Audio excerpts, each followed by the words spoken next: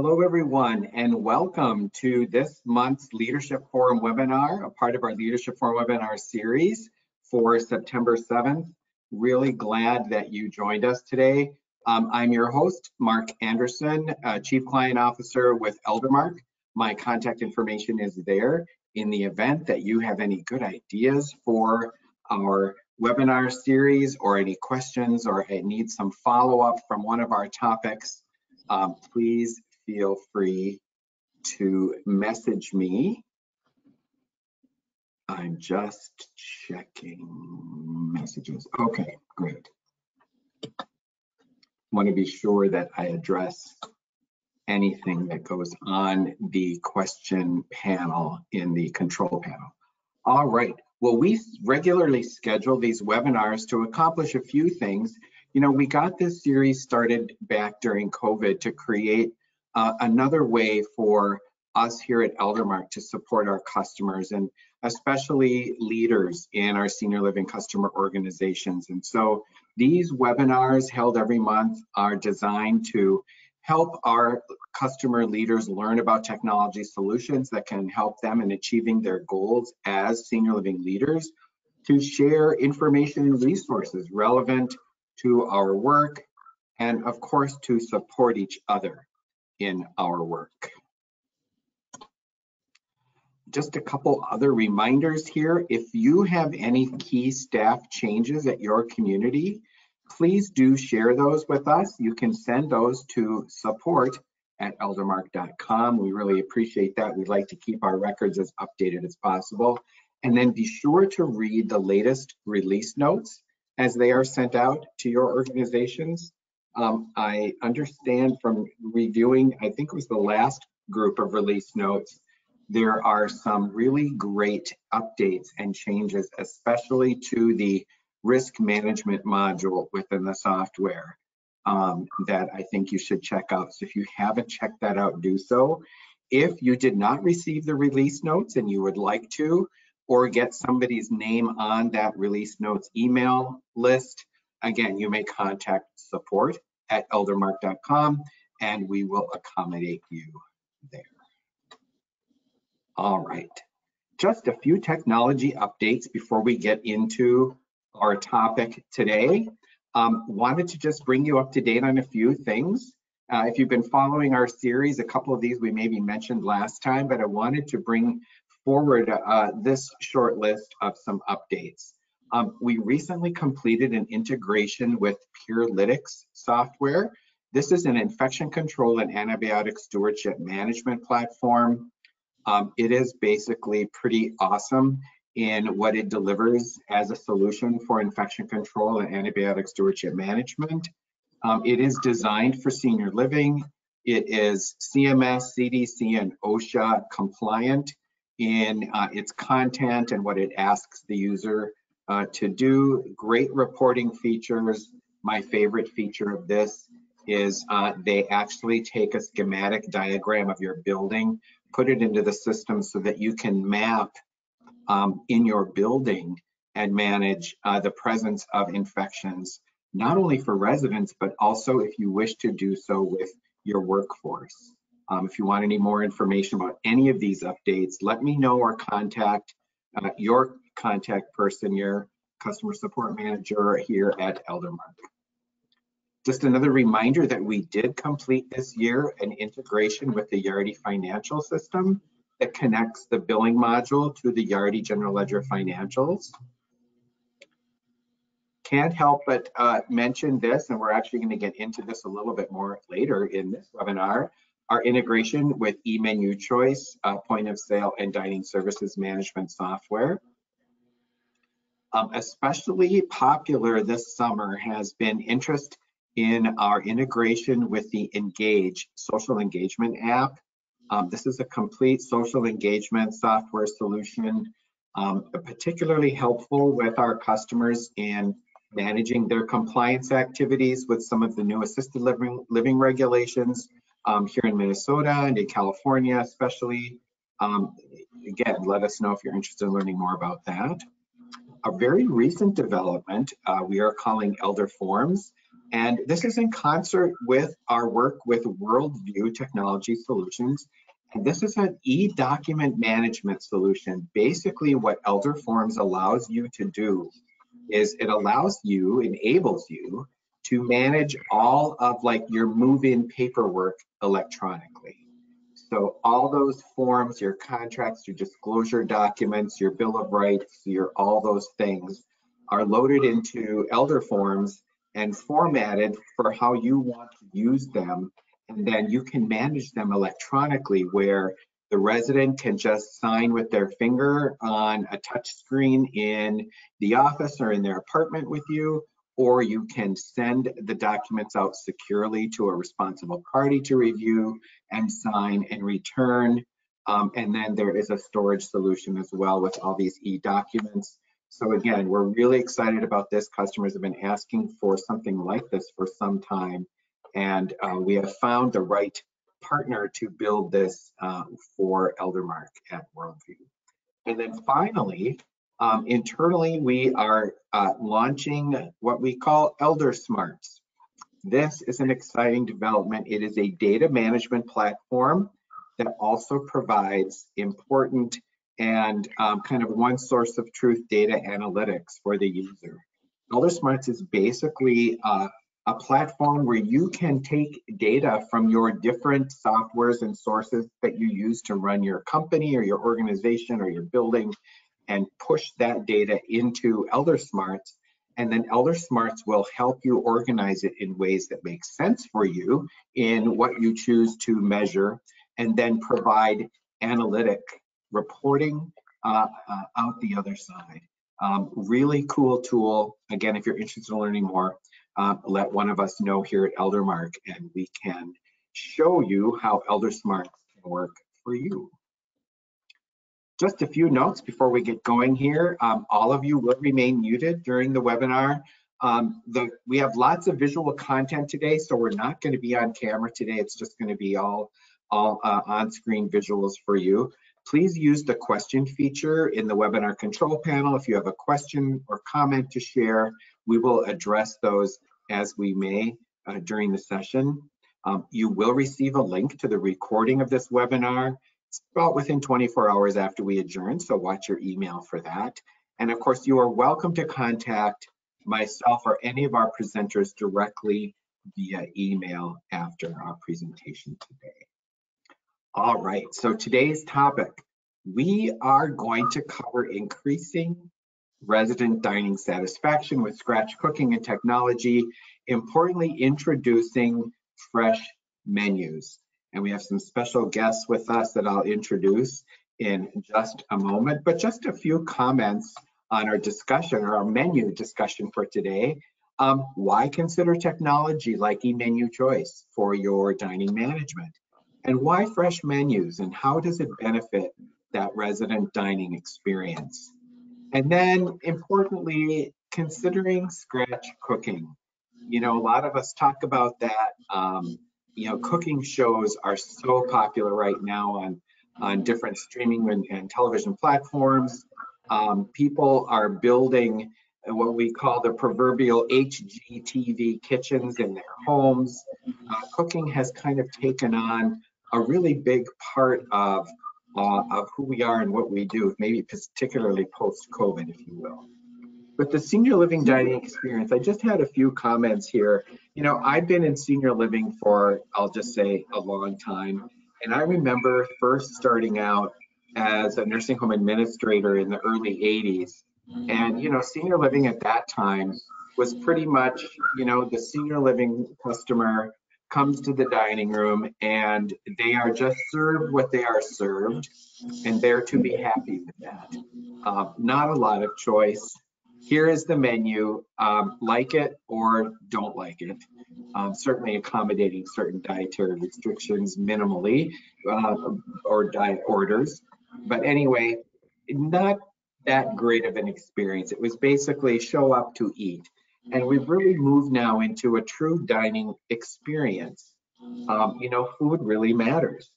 All these new dining trends, especially I think with the boomers uh, starting to enter the senior living market as senior living resident customers, you know, this is a generation that has enjoyed eating out with their friends and having a lot more variety in their food and dining experiences during their lives. And so we see these influences coming into senior living more and more with, you know, kind of that restaurant style dining experience or creating less formal, maybe casual dining places within a senior living community. Um, you know, that private dining room, that's always been around, that's very popular. Things like coffee shops and the grab and go concept has found its way into senior living. Um, you know, cooking demos, being able to sit within a demonstration kitchen and watch the cook or the chef prepare your meal in front of you.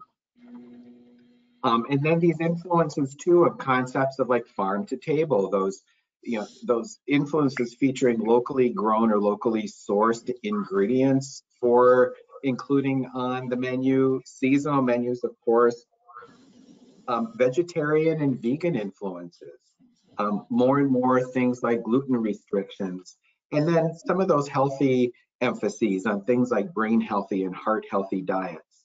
I mean, things have really, really changed and continue to change around this. But, you know, at the end of the day, it's food that really matters. And dining is such an important part of the day. And I think we can agree that, you know, in a senior living community, a consistently good experience in the dining room can equate to a generally happy resident customer where maybe they're even a little more forgiving about some of the other stuff that goes on, so long as that dining experience is tasty and pleasant and consistent. And with that, let me introduce our guest presenters today for this Leadership Forum webinar. Um, joining us, coming back to us, I guess, today, these two, uh, Matt Steenerson, founder at eMenu Choice, and Dawn Nickelson, uh, one of the founders of Passion for Dining and Nutrition. Uh, Matt and Dawn, I just think we will turn things over to you, and as questions come in, I can help you field those. Great, thanks, Mark. Yeah, and thanks for uh, watching the chat for us. Um, I'm going to uh, present my screen, which was easy in practice, but we'll see how smooth it goes here.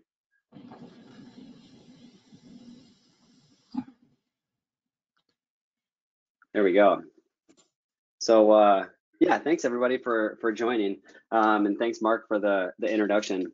Um, I see many familiar faces uh, or names on the call, uh, but for those of you who aren't aware of us or maybe haven't seen us in a while, um, eMenu Choice is a senior dining point of sale for all levels of, of care throughout the whole kind of senior continuum. Um, we are only focused on senior living, so we're not in like hospitals and schools and other things like that. We just specifically focus on on senior living. So we were started uh, by a senior living community in St. Paul called Lyngblomsten. And really the idea of eMenu Choice came out of this resident advisory committee that they have. Um, you know, Lyngblomsten really prides itself on providing a lot of choices and a lot of options to the residents, but they just weren't really feeling like they were getting the choices that that they wanted. So um, it sort of started off as an idea to provide images um, of all the food items and descriptions to the residents so they knew what the options were and so they could choose kind of more easily. Um, they found me in 2013 through a, a, mutual friend and we started building kind of that simple picture-based solution to replace these huge three three ring binders that they had um, in each of their 14 dining rooms uh, on their campus in St. Paul. Um, really, it sort of quickly uh, quickly changed from there to say, well, if we're already showing the pictures and um, the residents are making their choices, why don't we allow the staff to be able to actually place the order from the same app um, as they're showing the pictures, and then we could improve staff efficiency and and reduce uh, reduce tabulation and reduce a bunch of kind of extra work that the communities were having to do in the kitchen.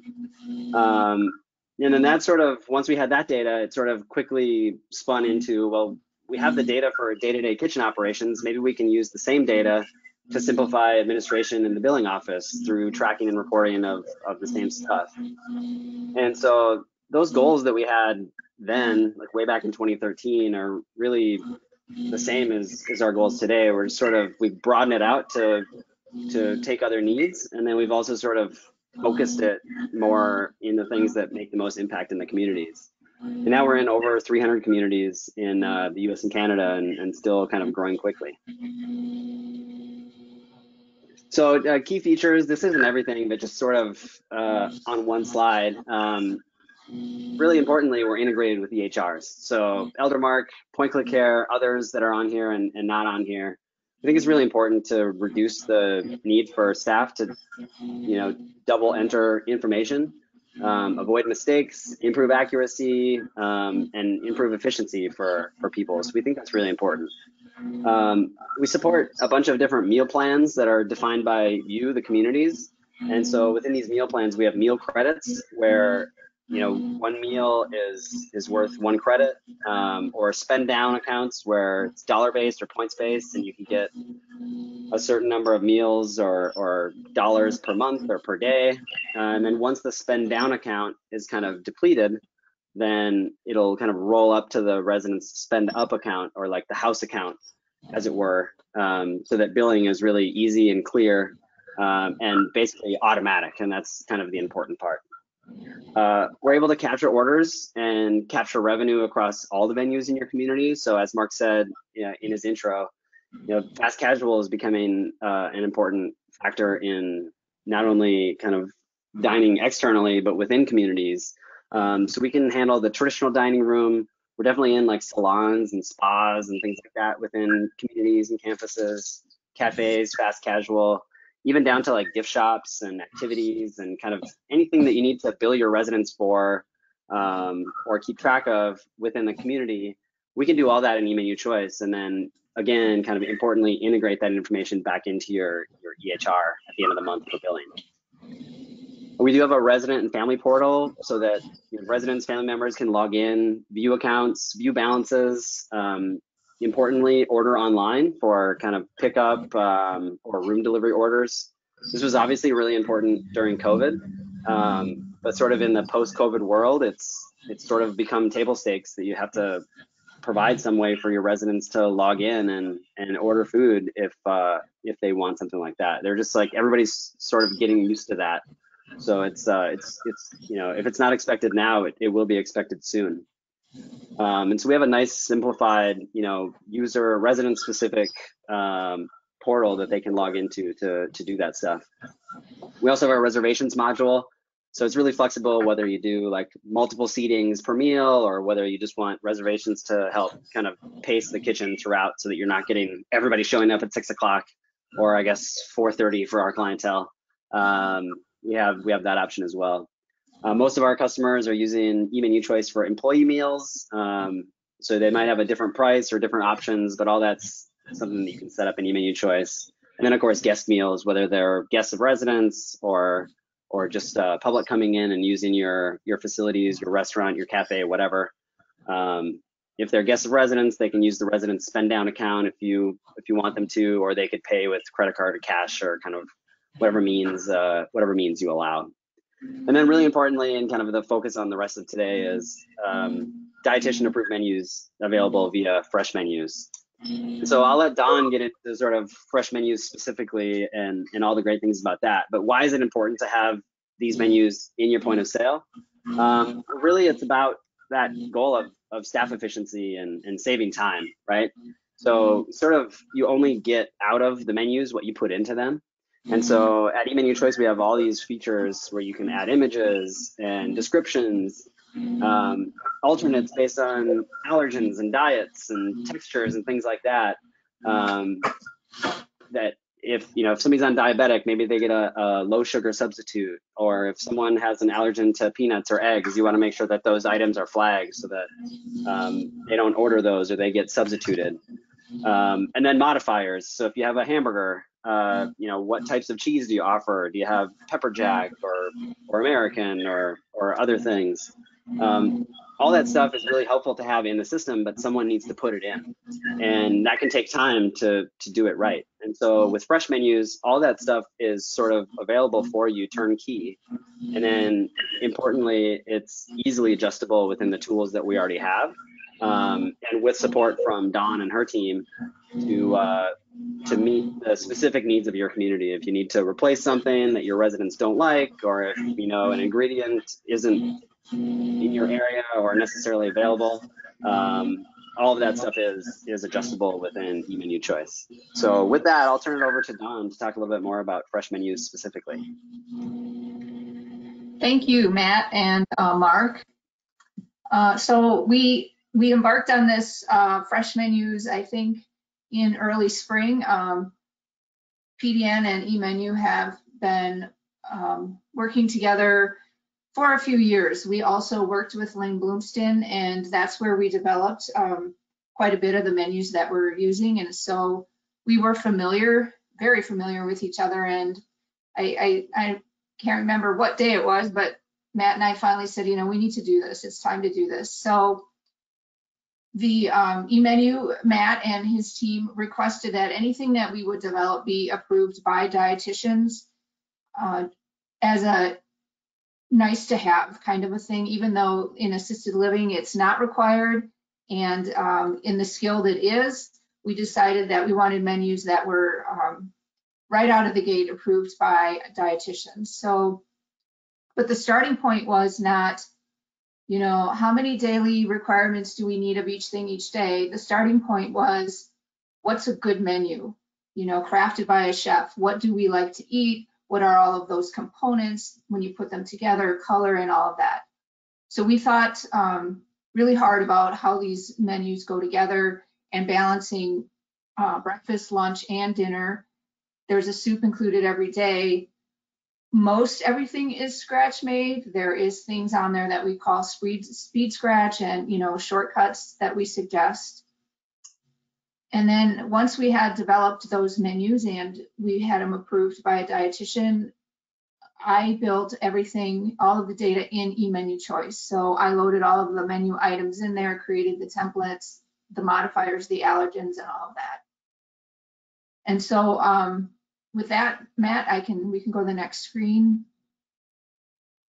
So as I mentioned, you know, we we started with what we like to eat at home and scratch made with fresh ingredients. We do eat a lot of fresh food at home and we know that's what's best for us, including our most vulnerable population and our elders. Patrick and I would think about, you know, what's the protein that we're going to start with and then what complements that flavor for this time of year. We balance colors and we would prepare the meal and write the recipes. I took a lot of pictures. The pictures are on our website. I wanted to do that too to give people an idea of how to plate. We get a lot of questions about plating. You know, we just don't know how to plate. We don't know how to make it look pretty. So I put a lot of the pictures out there to give you an idea of how to how to add that extra touch. Um, and if you notice on some of them, you know, like if there's a salad dressing, it's in a in a nice little bowl or in a mini ramekin. It's not just in a plastic PC cup that we call them, those plastic little cups with the lid that you get from, you know, takeout restaurants. And it's not packets. You know, they're they're um, they're placed nicely on the plate. And then we we wrote, as I mentioned, we wrote the recipes and we scaled them for a yield of 50 and we created uh, step-by-step methods and that little um, expression at the at the bottom, not all cooks have your experience. I reminded Patrick of that a lot. I would I would um, be typing as he'd tell me, you know, how to how to make the recipe, and I would remind him all of the time. We're not all you. We need to explain this better. What pan should they start with? How should they do this? You know, don't jump to um, something that you assume that we would all know because I I know that we're not all trained. Some some of the cooks we're hiring, this is their first time job. And the other thing is, you know, ethnic diversity. And I remember vividly working with someone who was scared to death to make a hamburger because she, that's not what they eat in their country. And she had never made a hamburger before. So we tried to take it down to the level that we're not making any assumptions.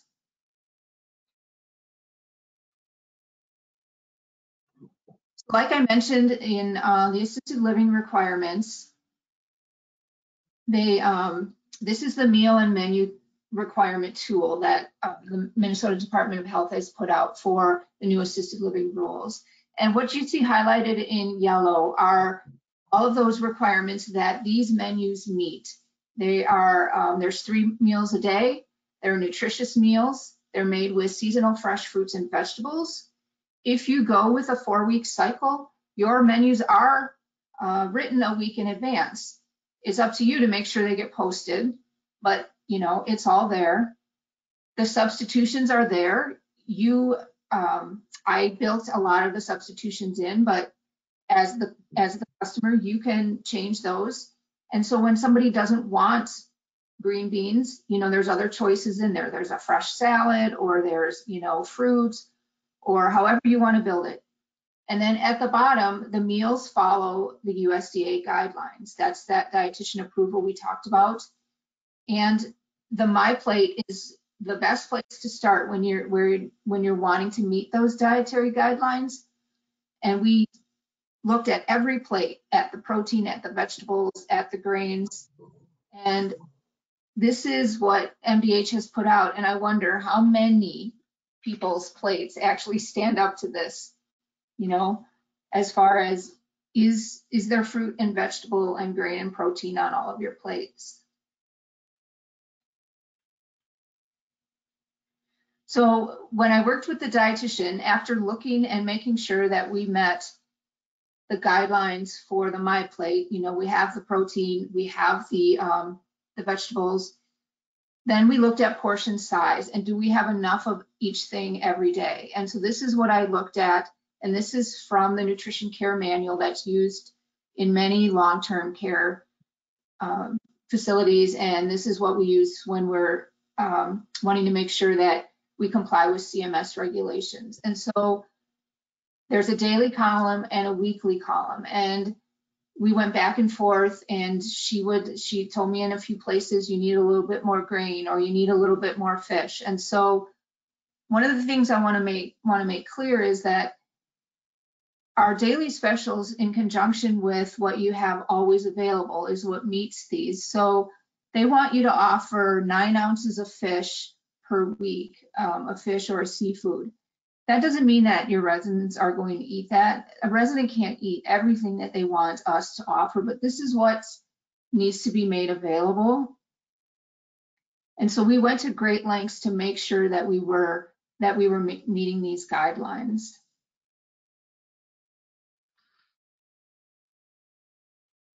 So included with FreshMenus in eMenu Choice is that four-week menu cycle. Right now we have created the spring and summer cycle, and we will be creating one for fall and winter. And then as we move forward, we'll be updating. So next spring and summer, we'll add some, some new items to what we built this year and so on. So we're gonna always keep it fresh and current. There's always gonna be fresh, seasonal, made from scratch options. There's breakfast, lunch, dinner, soup, and then what we call the always available, which is, you know, what you would um, have just as as it says always available. So if they don't like what's on the menu what else can they order? And is it a grilled cheese? Is it a hamburger? And we created items that are um, fresh and hopefully a little bit more out of the ordinary. We created a nice plated salad. There's um, a fish entree a chicken breast. But this is where you can easily customize it. If you have things that you know well this works really well for us then that's what you would add to your to your always available template. And then we ordered um, or we loaded all of the supporting modifiers, the allergens and the alternates. And this is where too you would customize. So say for instance with hamburgers, you know, I made um, you know, a guess on what would you include with a hamburger. You know, probably ketchup, mustard, lettuce, tomato, pickles. You know, um, when you're ordering a salad, what are the dressings that you would have available? So I guessed, you know, some of the basics, but that's where you could easily go in and say, you know, we don't offer all those, or we offer others in addition to this. So it's easy to customize. And then each menu item will have a recipe, and those are written in Word so that you can customize them. As I mentioned, they're written to a yield of 50. And the way that I uh, created it is the yield can easily be changed so that if you need them for 25 or 100 or whatever the number is that you need them for, you can customize those. we've also created an order guide or an ingredient list to go with each week. And then obviously we will support them with the menus, the recipes, and the customization. We're always available to answer questions and and help in any way that we can.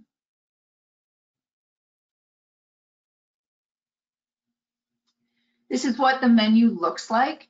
And I will send you with FreshMenus a PDF of each week that has the uh, dietitian's signature on it so that you have that for your reference. But then I also send the Word version of this so that you can add at the top your own um, your own name. If this is what you want to post, you can remove the line at the bottom if you like.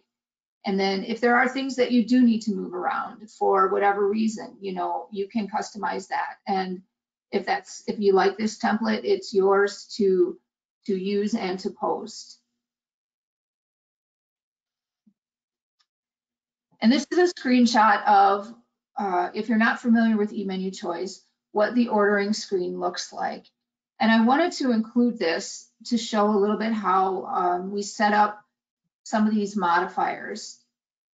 And I cannot stress enough, you know, Mark and Matt both talked about integrating with the resident data and how important it is that you start with that resident data.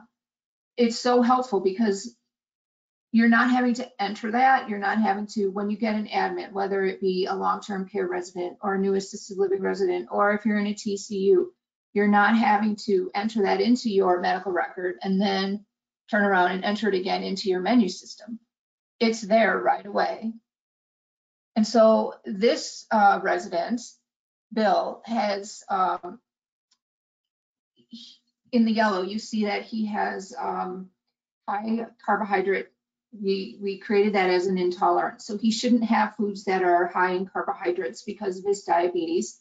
And then he also has um, intolerant of tree nuts. So for dessert, there's a chocolate cake. And instead of saying, well, he needs sugar-free pudding or he needs a pack of sugar-free cookies or whatever. There's a full slice of cake offered, but it's highlighted yellow because he probably shouldn't have that. But then next to it, the alternate is a half a piece of cake.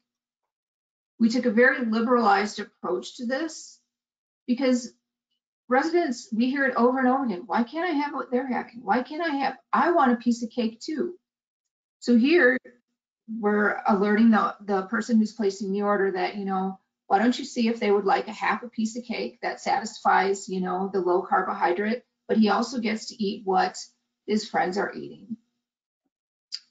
So I'd also want to show how on the left there in the gray, you see what he has ordered. So he wanted to have the, the spring green salad, but that has um, almonds on it. So that when he selects that, he's prompted to exclude the nuts. So he is able to have the salad. He added on chicken. He decided he wanted a couple of dressings, and then we exclude the nuts. And then he decided, well, I'll have some rice with my salad, and I'm going to have that half a piece of cake. And then he also added um, an ice cream. And that's where you could also customize. You could say, you know, we're going to offer ice cream, all the time with cake. So you would add that as a modifier.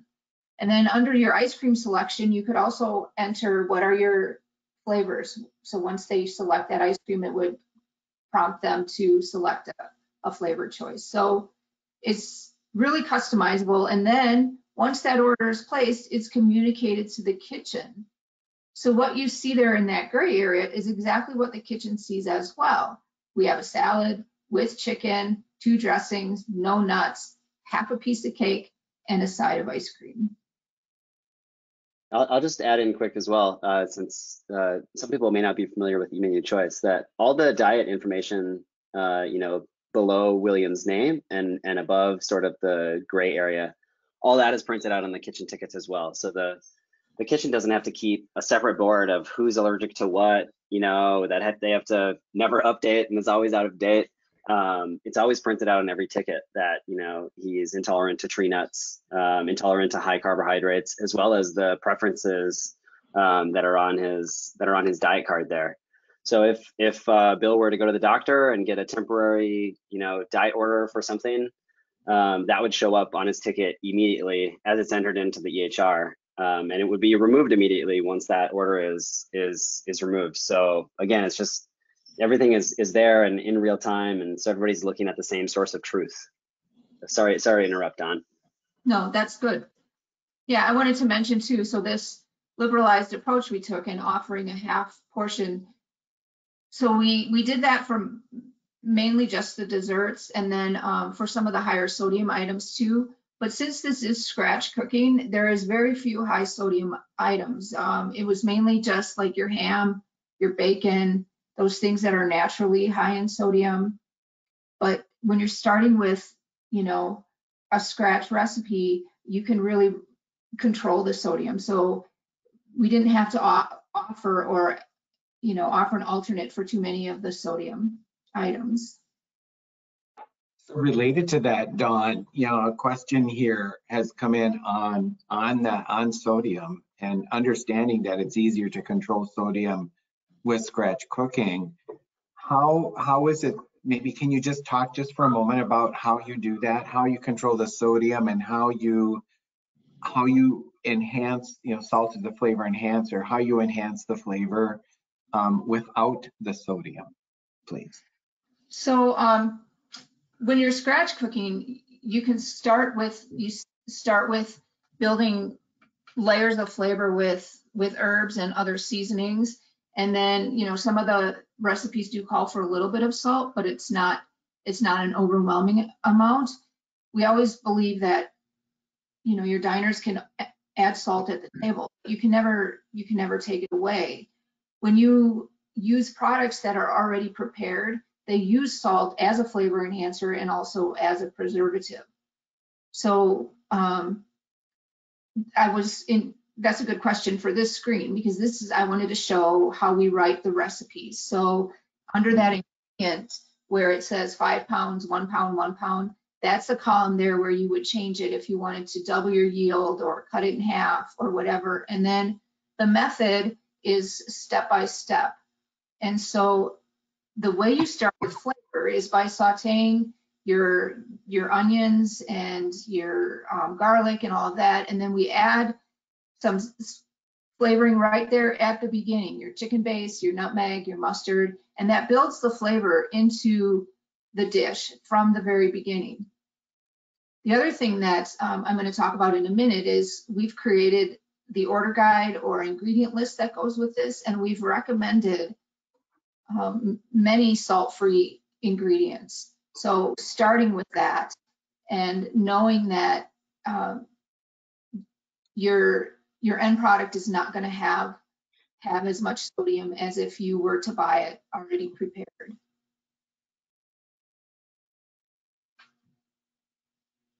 So I think we could go to the next screen here.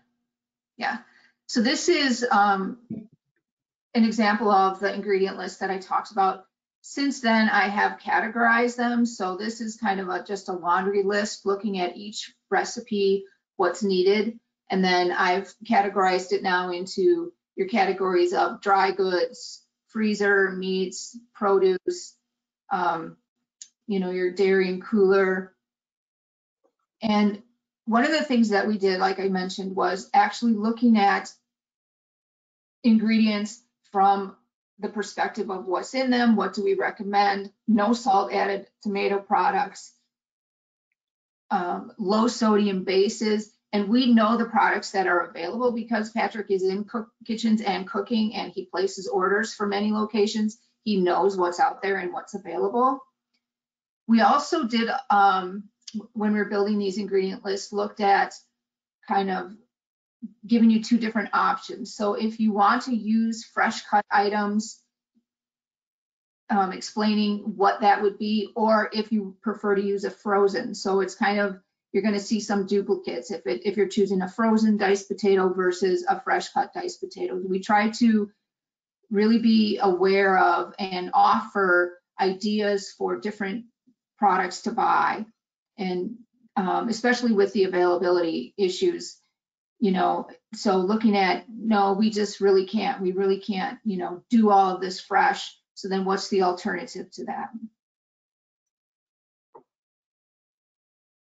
So then um, taking it one step further with the order guide, because we're using these menus and maintaining them um, in some kitchens that use US foods, we are maintaining that order guide in US foods. And for any other US foods customers, we can easily copy that order guide to, to them. So that's another thing that's just going to be built and ready to go. And here's an example of um, one of the items. So the potatoes, the diced skin on, red blanched, refrigerated, that's a fresh. And here's, so if you're thinking, well, we don't have time to cut potatoes, clean and peel and cut potatoes. So many of these things come already prepared. You know, you can order whole green peppers or you can order diced green peppers. You can order whole potatoes or you can order them already diced. And I wanted to show too, um, I know Mark has mentioned a couple of times the cost. You know, is scratch cooking that much more expensive? And I wanted to show an example here of, so for these clean diced and blanched Fred Rush, uh, fresh red potatoes, it's um, a little um, under a penny per ounce. So we go to the next screen. This is kind of a double example showing price and health. So here's a, uh mashed potato skin on, boil in the bag potato, 15 ingredients. If you look on the far right, on, uh, in the gray column there, the sodium is 500 milligrams per serving. So that gets to back to what Mark was just asking about. When you look in the ingredient list, um, it says salt. I don't know. I think there's an error. It lists salt twice. I'm not sure why. But then there's other ingredients at the end. So we have 15 ingredients. The sodium is 500 milligrams. I believe that's for a five ounce serving. So in senior living, we'd probably do a four ounce serving, so it would be 400 milligrams. And the cost per four ounce serving is 59 cents. So if we go to the next screen, our homemade skin on mashed potatoes has five ingredients. The potatoes, the cubed and um, parboiled red potatoes that were just, I highlighted on the order guide, milk, butter, a little bit of salt, two teaspoons for 44 servings is not much, and then some white pepper. So the cost of your potatoes is $14.72. The milk is $1.40, the butter is $2.13. So your total for these five ingredients for a four ounce serving is 41 cents. So you come in lower on cost and then also five ingredients versus 15. And so which would you rather eat? And it says there um, step by step how to make those potatoes. And you steam the already um, cubed potatoes, you warm your milk and butter, you place them all together in the mixer, and voila, you have mashed potatoes. And then um, under the notes, and we did this quite a bit as well. So this is one of Patrick's tricks. So I, maybe I need 12 pounds of potatoes. So I'm ordering a 10 pound bag. What do I do? I don't want to order, you know, and then I have eight pounds just hanging out. What do I do with those? So there's a note there that if you need to bulk it out a little, throw in some dried potatoes with a little bit extra milk and butter, and you can increase your yield a little bit, and you still have, you know, homemade mashed potatoes. Next screen. So, um, yeah, questions. I think that's all I had of on FreshMenus. Yeah, thank you, Dawn. And again, thank you, Matt. So there is a question here um, on kind of the minimum qualifications and experience that someone needs working in the kitchen in order to prepare the menus that you've developed on. I think it goes back to, I know you said you don't, you don't need to have Patrick's experience in the kitchen. Um, but um, you know, kind of what would be the minimum level of skill necessary to accomplish the menus that you've developed? You know, um, that's a really good question. I would think that if, you know, they, whether or not you are cooking from scratch or heating your food, you need to have a pretty basic understanding of, you know, measuring ingredients and knife skills and how to heat, properly heat the food, the equipment that you have available in your kitchen. And then, you know, um, how to read a recipe. So these recipes aren't any different than what you would find online or in a cookbook. And I would think that, you know, they, if there's an understanding of how to read a recipe, how to make a soup from scratch, you know, can they dice an onion? Can they cut a carrot and celery? Do they know what the word saute means? Then they should be able to do that. So would Yeah. that I'll be just- like, I'll just- like an experienced line cook? Could- Oh, Could yeah. handle easily. Oh, yeah. I mean, we, yeah, that's even way more experience than. than- That's more than, okay, Obviously. fantastic. Yeah, I Yeah, just, I no, a wanna line kind of, cook- a- a- a line cook should definitely be able to make most of, perfect. of what we've written. Um, I was going back even, you know, as, as this is the first time stepping into a kitchen. Um, you know, we have, we are currently implementing FreshMenus in a location where they have hired us to, um, train alongside the, the menus. So, you know, there's always that option too. Yeah, I was just gonna Yeah, underscore too here with the recipe on the on the uh, on the screen is that you know uh, Dawn had said it before, but I think they went to really above and beyond kind of expectations of, of most folks on how the recipes are written, and a lot of care was put into making them understandable for you know anyone. I mean, how many times have you read a recipe online where like the steps just don't make any sense? and they're contradictory and, and things like that. And so these recipes were developed, you know, by Dawn, by Patrick, by like real people that care about this stuff that are obviously very passionate. Um, versus, yeah, I think sometimes you just get like AI created recipes where it's like step one is like buy the ingredients, step two is like question marks, and then step three is plate the food. And it's like, well, I don't understand how we got from one to three, but all of these are very like painstakingly prepared by by Dawn and Patrick and team just to to make sure that they're understandable for kind of all levels of folks in the kitchen. Yeah.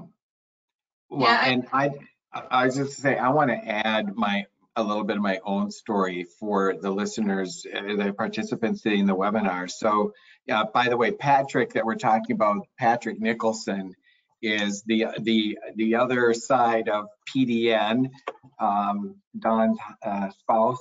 And I worked, I had the pleasure of working with Patrick, uh, was a chef in one of my buildings years ago when I was in senior living operations.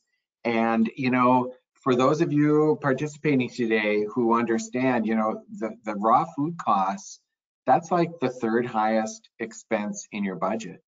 And um, I am always grateful for what Patrick taught me in how scratch cooking um, and this approach that you've taken in FreshMenus, I mean, literally saved us a ton of money and our satisfaction scores in the dining room went up a lot, especially residents who were able to, you know, like they, they we didn't have to say, well, you can't have that because, you know, ever what dietary restriction. It was like these kinds of menus open the door to just, I guess, more freedom of choice or I mean, they could just eat what was on the menu. And I really always appreciated that experience in, in working with Patrick. And I see that uh, in these menus, Dawn, um, and just know from my own experience what that means in the dining room.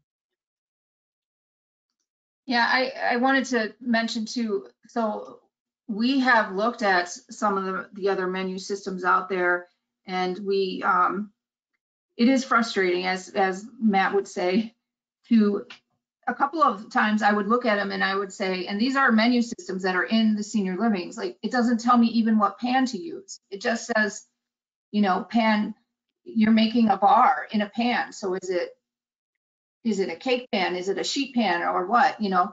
And if you have questions, there's no one to go to. I mean, these are just, who knows? Mm-hmm. Us, we went to painstaking detail to talk about the pans and I even included a guide on how to cut, you know, what strings you should get from the pans.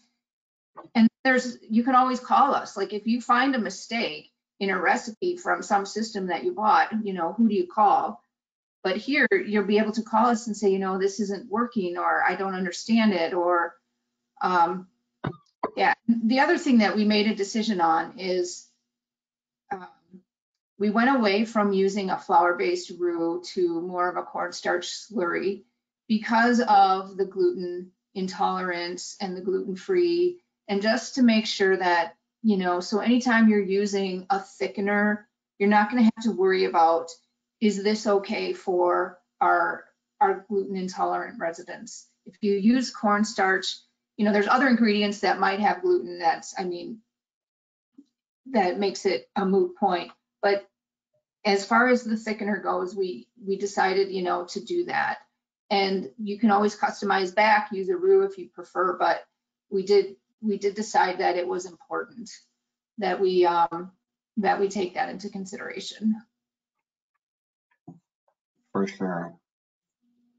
Um, that is it for the questions coming in. Any other closing co- uh, comments, Dawn and or Matt? I know no, nothing from me. I just uh, thanks again everybody for for being here, and um, I have Jim's number on here for for us. Jim can provide you with the details you need, and then you know as far as the menu choice goes, get you set up with a, a personalized demo to show you FreshMenus and any other features that you're interested in. Um, and yeah, Dawn, I'll turn it over to you for any any other closing comments. No, I, there's my contact information, you know, if you have questions, you know, any, anything you'd like to know, I'm happy to help and I appreciate, I appreciate, um, Mark inviting, inviting me to participate and Matt for, you know, allowing PDN to be part of eMenu Choice. Yes, we tried for a long time, and and we're so happy to to be working together on this. I'm just so proud of what we put together um, collectively. The the items, the the menus, the the tools to make it work. It's just all of it is is really great. Awesome. Thanks again, you guys, for being able to join us today. Appreciate it so much. Again, feel free, participants, to contact these guys directly, or you can always, again, hit up one of us at Eldermark and we can connect you. Our next regularly scheduled Leadership Forum webinar is set for October 5th at 12 o'clock Central Time. Watch for an email blast, or you can always sign up at eldermark.com and uh, and go to the webinar calendar and sign up there for um, any of our webinars, including this series. We offer a lot of different webinars on a lot of different topics, refreshers and so on, especially for those of you with uh, perhaps uh, turnover in staff and you need to get people trained quickly. Again, feel free to reference our reference of uh, reference library of webinars and other training materials on our training center. If you need access to that, contact support at eldermark.com, your client services manager, or myself, and we can connect you. Again, thanks so much. Thanks, Matt. Thanks, Dawn. And uh, we hope that you, uh, as participants, will join us again next month. Thank you for your good work, and we will talk to you again soon.